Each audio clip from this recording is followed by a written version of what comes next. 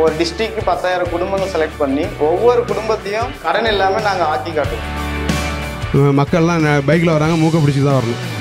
ஒரு குப்பை மேடாக இருந்த இடம் இன்றைக்கு ஒரு வனமாக மாறுகிறது. ஃபேப்ரிகேட்டரும் அந்த கஸ்டமரும் எங்ககிட்ட வந்தாங்கன்னா ஏ டு Z அத்தனை பொருட்களுமே இங்கிருந்தே வாங்கிட்டு போற அளவுக்கான வசதிகளை நாங்கள் இங்களே ஏற்படுத்தி வச்சிருக்கிறோம் வாடிக்கையாளர்களாக வாருங்கள் நண்பர்களாக செல்லுங்கள். சொல் அல்ல செயல்.